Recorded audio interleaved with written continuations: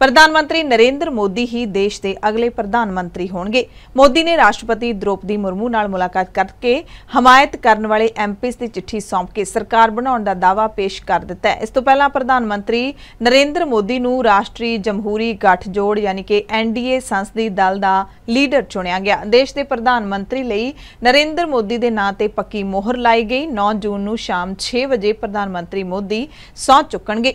ਪੁਰਾਣੀ ਸੰਸਦ ਦੇ ਸੈਂਟਰਲ ਹਾਲ ਦੇ ਵਿੱਚ ਸਵੇਰੇ 11 ਵਜੇ ਸ਼ੁਰੂ ਹੋਈ ਮੀਟਿੰਗ ਵਿੱਚ 13 ਐਨਡੀਏ ਪਾਰਟੀਆਂ ਦੇ ਲੀਡਰ ਸ਼ਾਮਿਲ ਹੋਏ। ਪ੍ਰਧਾਨ ਮੰਤਰੀ ਨੇ ਕਿਹਾ, ਮੈਨੂੰ ਨਵੀਂ ਸਰਕਾਰ, ਮੈਨੂੰ ਨਵੀਂ ਜ਼ਿੰਮੇਵਾਰੀ ਦੇਣ ਲਈ ਧੰਨਵਾਦ। ਸੈਂਟਰਲ ਹਾਲ ਵਿੱਚ ਪਹੁੰਚਦਿਆਂ ਹੀ ਸਭ ਤੋਂ ਪਹਿਲਾਂ ਪ੍ਰਧਾਨ ਮੰਤਰੀ ਨੇ ਸੰਵਿਧਾਨ ਦੀ ਕਿਤਾਬ ਨੂੰ ਚੁੱਕਿਆ ਤੇ ਮੱਥੇ ਲਾਇਆ। ਪੀਐਮ ਮੋਦੀ ਦਾ ਇਹ ਕਿਤੇ ਨਾ ਕਿਤੇ ਵਿਰੋਧੀਆਂ ਨੂੰ ਸੁਨੇਹਾ ਸੀ, ਜੋ ਉਹਨਾਂ ਦੇ ਸੰਵਿਧਾਨ ਨੂੰ ਬਦਲਣ, ਜੋ ਉਹਨਾਂ ਤੇ ਸੰਵਿਧਾਨ ਨੂੰ ਬਦਲਣ ਦਾ ਇਲਜ਼ਾਮ ਲਾਉਂਦੇ ਰਹਿੰਦੇ ਨੇ।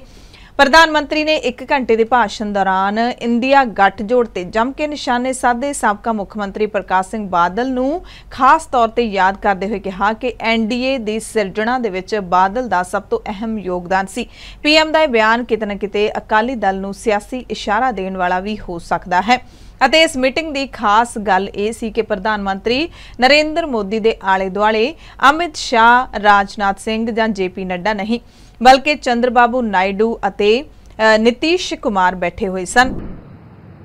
शुरू में शायद असेंबल हुआ होगा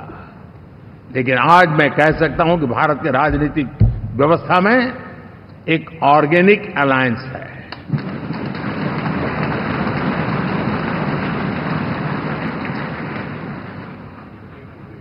और ये मूल्य श्रद्धेय अटल बिहारी वाजपेयी, श्री प्रकाश सिंह जी बादल, श्री बाला साहब ठाकरे, श्री जॉर्ज फर्नांडिस श्री शरद यादव, अनगिनत नाम मैं कह सकता हूँ। इन लोगों ने जिस बीज को बोया था, वो आज भारत की जनता ने विश्वास का सिंचन कर करके उस बूझ- बीज को वट वृक्ष बना दिया है ਪ੍ਰਧਾਨ ਮੰਤਰੀ ਨੇ ਐਨਡੀਏ ਨੂੰ ਨਵਾਂ ਨਾਮ ਵੀ ਦਿੱਤਾ ਐਨ ਮਤਲਬ ਨਿਊ ਇੰਡੀਆ ਡੀ ਮਤਲਬ ਡਿਵੈਲਪਡ ਇੰਡੀਆ ਏ ਮਤਲਬ ਐਂਸਪੀਰੇਸ਼ਨ ਇੰਡੀਆ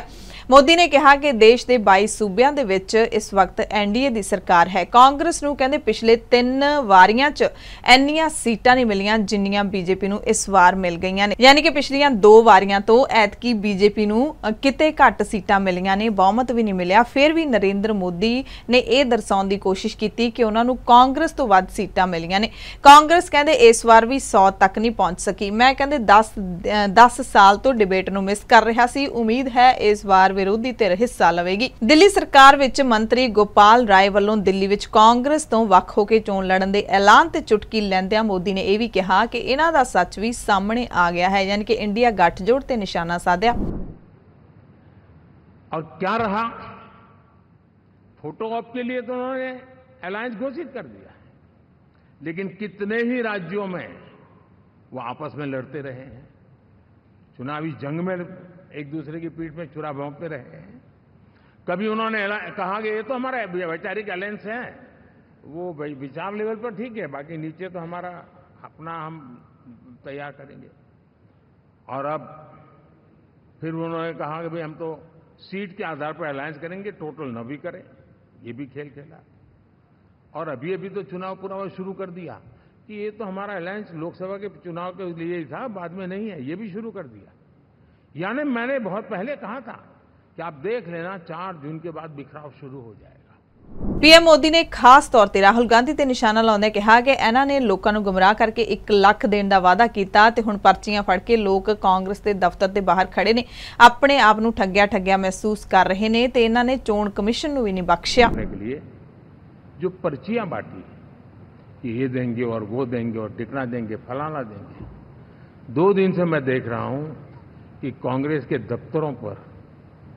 लोग कतार लगा के खड़े हैं कि ये पर्ची है, एक लाख रुपया कहाँ है? लाओ भाई। मांग रहे लोग। यानी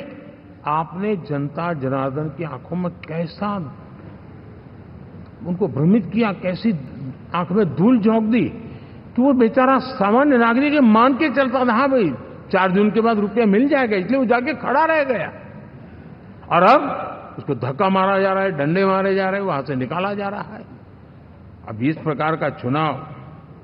ये अपने आप में देश के गरीबों का अपमान है। ਪ੍ਰਧਾਨ ਮੰਤਰੀ ਮੋਦੀ ਨੇ ਕਿਹਾ ਕਿ ਟੀਵੀ ਤੇ ਲਗਾਤਾਰ ਚੱਲ ਰਿਹਾ ਹੈ ਕਿ ਇਹ ਇਹ ਮੰਤਰੀ, ਇਹ ਇਹ ਜਿਹੜੇ ਲੀਡਰ ਨੇ ਉਹ ਮੰਤਰੀ ਬਣਨ ਦੀ ਰੇਸ ਦੇ ਵਿੱਚ ਨੇ, ਪਰ ਕਹਿੰਦੇ ਜਿਹੀਆਂ ਖਬਰਾਂ 'ਚ ਕੋਈ ਸੱਚਾਈ ਨਹੀਂ ਹੈ। ਕਹਿੰਦੇ ਐਮਪੀਸ ਨੂੰ ਪੀਐਮ ਐਮਪੀਸ ਨੂੰ ਉਹਨਾਂ ਨੇ ਇੱਕ ਸੁਨੇਹਾ ਵੀ ਦਿੱਤਾ, ਅਲਰਟ ਵੀ ਦਿੱਤਾ ਕਿ ਤੁਹਾਨੂੰ ਮੰਤਰੀ ਬਣਨ ਦੀ ਫੇਕ ਕਾਲ ਵੀ ਆ ਸਕਦੀ ਹੈ। ਅਲਰਟ ਰਹੋ, ਜਾਂਚ ਕਰ ਲਿਓ ਪਹਿਲਾਂ। ਯਾਨੀ ਕਿ ਜਿਹੜੀਆਂ ਖਬਰਾਂ ਚੱਲ ਰਹੀਆਂ ਨੇ ਕਿ ਨਿਤੀਸ਼ ਕੁਮਾਰ ਨੇ ਇੰਨੇ ਮੰਤਰਾਲੇ ਮੰਗੇ ਨੇ, ਨਾਇਡੂ ਨੇ ਇੰਨੇ ਮੰਗੇ ਨੇ ਉਹਨਾਂ ਸਾਰੀਆਂ ਗੱਲਾਂ ਨੂੰ ਪੀਐਮ ਮੋਦੀ ਨੇ ਇੱਕ ਤਰੀਕੇ ਨਾਲ ਨਕਾਰਿਆ ਹੈ।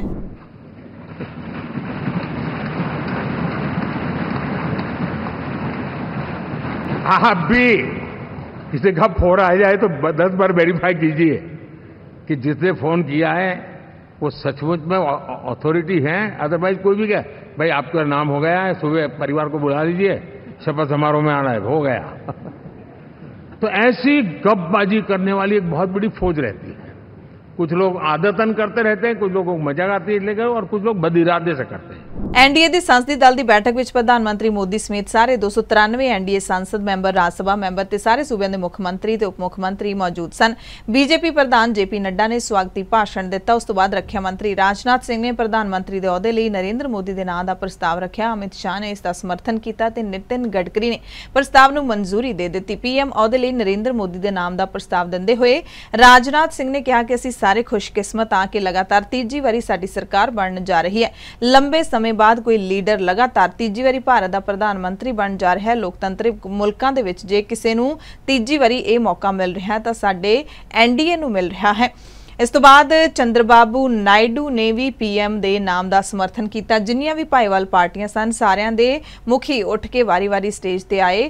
ਪੀਐਮ ਮੋਦੀ ਦੇ ਸਮਰਥਨ ਦੇ ਵਿੱਚ ਉਹਨਾਂ ਨੇ ਆਪੋ ਆਪਣੇ ਤਰੀਕੇ ਨਾਲ ਸ਼ਬਦਾਵਲੀ ਦੀ ਵਰਤੋਂ ਕੀਤੀ ਨਾਇਡੂ ਨੇ ਵੀ ਮੋਦੀ ਸ਼ਾਹ ਦੀ ਅ, ਤਾਰੀਫ ਕੀਤੀ ਇਸ ਤੋਂ ਬਾਅਦ ਨਿਤੀਸ਼ ਕੁਮਾਰ ਦੀ ਵਾਰੀ ਆਈ ਤਾਂ ਉਹਨਾਂ ਨੇ ਕਿਹਾ ਕਿ ਮੋਦੀ ਜੀ 9 ਤਰੀਕ ਨੂੰ ਸਹੁੰ ਚੁੱਕਣ ਜਾ ਰਹੇ ਨੇ ਮੈਂ ਤਾਂ ਕਹਿਣਾ ਕਿ ਅੱਜ ਹੀ ਚੁੱਕ ਲੈਣ ਅਸੀਂ ਕਹਿੰਦੇ ਪੂਰਾ ਸਮਰਥਨ ਕਰਦੇ ਹਾਂ और आप जान लीजिए कि कुछ लोग हम लोगों को तो अब लगता है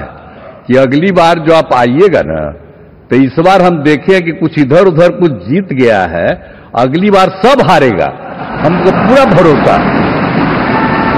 ये सब बिना मतलब का बात बोल बोल करके, बिना मतलब का बात बोल बोल करके क्या किया है? और ये सब कोई काम किया है? उन लोगों ने आज तक कोई काम नहीं किया। देश की कोई सेवा नहीं की लेकिन आपने इतनी सेवा की है और उसके बाद इस तरह से हुआ है तब इस बार फिर जो मौका मिला है तो इस मौका के बाद आगे अब उन लोगों के लिए कोई गुंजाइश नहीं रहेगा वो सब खत्म हो जाएगा अब बिहार ਐਨਡੀਏ ਦਾ ਲੀਡਰ ਚੁਣੇ ਜਾਣ ਤੋਂ ਬਾਅਦ ਪ੍ਰਧਾਨ ਮੰਤਰੀ ਨਰਿੰਦਰ ਮੋਦੀ ਦਿੱਲੀ ਵਿੱਚ ਬੀਜੇਪੀ ਦੇ ਸੀਨੀਅਰ ਲੀਡਰ ਲਾਲ ਕ੍ਰਿਸ਼ਨ ਅਡਵਾਨੀ ਦੀ ਰਿਹਾਇਸ਼ ਤੇ ਪਹੁੰਚੇ ਮੁਲਾਕਾਤ ਕੀਤੀ ਮੁਰਲੀ ਮਨੋਹਰ ਜੋਸ਼ੀ ਜਿਹੜੇ ਕਿ ਪਾਰਟੀ ਦੇ ਸਾਬਕਾ ਪ੍ਰਧਾਨ ਹਨ ਉਹਨਾਂ ਦੇ ਘਰੇ ਵੀ ਮੋਦੀ ਗਏ ਤੇ ਉਸ ਤੋਂ ਬਾਅਦ ਸਰਕਾਰ ਬਣਾਉਣ ਦਾ ਦਾਅਵਾ ਪੇਸ਼ ਕੀਤਾ